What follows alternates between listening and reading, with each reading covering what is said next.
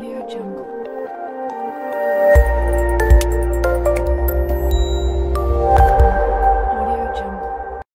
बात करते हैं कंदकोट से, जहाँ जायद कीमत वसूल करने वाले दुकानदारों के खिलाफ कानून के मुताबिक सख्त कार्रवाई की जाए। तफसीत के मुताबिक डिप्टी कमिश्नर कश्मीर फ़र्क शहजाद कुरैशी की सरबराही में डिप्टी कमिश्नर ऑफ़िस में प्राइस कंट्रोल कमेटी के हवाले से इजलास हुआ।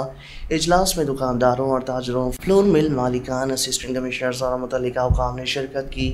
डिप्टी कमिश्नर ने इजलास से खिताब करते हुए कहा कि प्राइस कंट्रोल के लिए असिस्टेंट कमिश्नर मार्केट के अचानक दौरे करें और मुनाफा खोरों के खिलाफ कानून के मुताबिक कार्रवाई करें, जिसके बाद ज़िला कश्मीर के डिप्टी कमिश्नर्स ने रोज़मर्रा की अशिया की कीमतें मुकर कर दी हैं। जबकि डिप्टी कमिश्नर की जानब से इजलास से खिताब करते हुए कहा गया कि इन कीमत में आटा, जो कि एक सौ अट्ठाईस रुपये गंदम का आटा एक सौ अट्ठाईस ओपन मार्केट में दाल, मूंग 260 दाल मसूर एक नंबर 290 और मटन 1500 रुपए और बीफ साढ़े सात सौ। मुर्गी का गोश्त ओपन मार्केट फ़िश में 480 रुपए फ़ी किलो से जायद, फ़िश 400 फ़ी किलो से कम। दूध 180 रुपए, सुरख मिर्च 680 रुपए मुकर किया जाए। चावल सुपर कैनल बासमती 290 रुपए, चावल कायनात 300 चावल एरी छः नंबर 150 और चावल छियासी, दो सौ तीस रुपये बेसन दो सौ चालीस रुपये सूजी एक सौ चालीस रुपये मैदा एक सौ चालीस रुपये मुकर किया गया, जबकि सब्ज़ियाँ और फलों की कीमतों में रोज़ाना की बुनियाद पर तहसीलदार अमला